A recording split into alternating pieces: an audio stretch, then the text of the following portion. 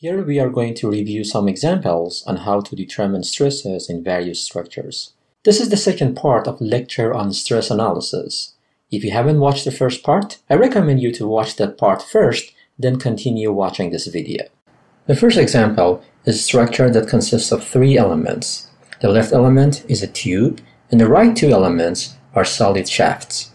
The structure is restrained at the left end at A and it is subjected to four forces at B and C. In this problem, we want to determine how much our stress is in element number 1, 2, and 3. Stress is a force divided by area, so we need to determine force and area in each of these elements. Let's start with determining the forces in each of these segments. In order to determine force, we need to use the concept that we have already learned in statics, which is a free body diagram. In order to draw the free body diagram for the right part, element number 3, we need to cut that element somewhere between C and D and take the free part, which is the right part. And then put a known force on the cut section, which we call that F sub 3, and also all the external forces, which in this case there is no external force acting on that part. Then use equilibrium equation to determine how much is the internal force. In this case, it is trivial that internal force F3 is equal to 0. Now let's do the same process for element number 2. We are going to cut that somewhere between B and C, put a known force F2 outward from the cut surface, and show the external forces acting on that element. There are two forces P2 acting at point C. Sum of the forces in the x direction should be equal to 0. In that case, F2 is going to be equal to 2 multiplied by P sub 2. The sign is positive, which means that the internal force is in tension. Now let's do that for element number 1. We do the same process. We are going to cut the element somewhere between A and B, put a known force F1 outward from the cut surface, and show all the external forces, which are all four forces that we have in the structure sum of the forces in the x direction should be equal to 0, which results in F1 is equal to 2 multiplied by P sub 2 minus 2 multiplied by P sub 1. From this process, we can determine how much are the internal forces in each segment. The second step is determining how much is the cross-section area. Segment 2 and 3 are solid shafts, which means the area is a circle, so the area of these two sections is pi over 4 diameter squared. Segment 1 is a tube. In order to determine its area, we need to subtract the area of the inner circle from the area of the outer circle, which gives us pi over 4 external diameter squared minus internal diameter squared. After determining the area for each segment, we can determine stress, and in each of those, stress is simplified as a force over area. Segment 3 is stress-free because there is no internal force in that part. Stress in segment 2 is positive because the internal force is tensile.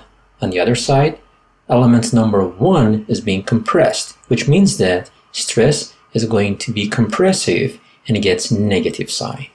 The second example is a rigid steel bar that is supported by two cables and is carrying a force of P. The diameter of the cables are provided along with their length, and we want to determine how much our stress is in the cables. Similar to the previous problem, the first step is determining the internal force in each of these cables. And in order to do that, we need to use the free body diagram.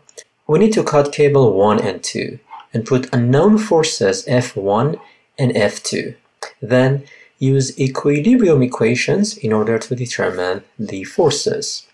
The first equation is going to be sum of the moments about C. And in that case, F1 multiplied by its distance to point C, which is A plus B, is going to be equal to force P multiplied by its distance to point C, which in this case is distance B. Then we can solve that for F1 and determine how much is force in that cable. In a similar way, in order to determine F2, we use the second equation, which is sum of the forces in the y direction. And from that, we can determine how much is force in the second cable. The second step is determining how much are the cross-section areas of each of these cables. The cross-section area of a cable is a circle, and area is going to be pi over 4 diameter squared, and we can determine those for each of these two cables. And the last part is simply dividing force by the area and then determine how much our stress is. In this case, both cables are going to be positive because both are in tension. The last problem is a hydraulic punch which is pressing a plate with a force of P. The shape of the contact area between the punch and the plate is shown in the figure and we want to determine how much is the normal stress between the punch and the plate.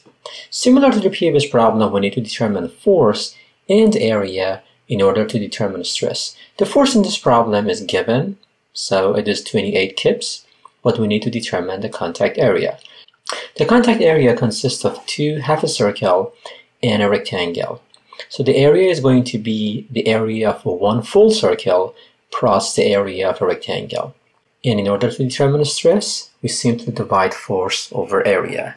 In this case, because the force is given in kips and we want to determine stress in psi, we need to multiply force by a thousand in order to convert that to pound. And the answer is 8140 psi. Well, this problem looks simple, but there is something that is different from the previous problems. In this case, we are not determining the internal stress in the plate or in the punch, but we are determining stress on the contact area between these two parts. Also, if the force is strong enough to punch the plate and create a hole, other types of stresses will develop within the plate, which we haven't talked about that yet. In the next lecture, we will talk about the different types of stresses and how to calculate them. Now let's wrap up our discussion. In all stress analysis problem, the internal force and the area should be determined in order to determine the amount of stress. The internal force is typically determined using the free body diagram. In order to determine the area, we need to see what area is the force acting on. And once we determine these two parts, we simply divide force over area to determine the stress. Free body diagram is what we have already learned in statics, but let's briefly review that here. Free body diagram is a technique that is used for determining internal forces in structure and there are basically three steps. First, we need to cut the structure at the point that we want to determine the internal force. Say in this case, we want to determine how much is the internal force in the blue element. So we need to cut that between A and B. Then put an unknown force outward from the cut surface, along with all external forces that are acting on the free part. Note that in structure with restraint, we need to consider the part which is free of restraints. In this case, the left part of the structure is restrained and the right part is free. So we have to consider the right part, which is the free part of this structure. And the last step is using the equilibrium equation in order to determine the internal force. Generally, in a two-dimensional structure, there are three equations.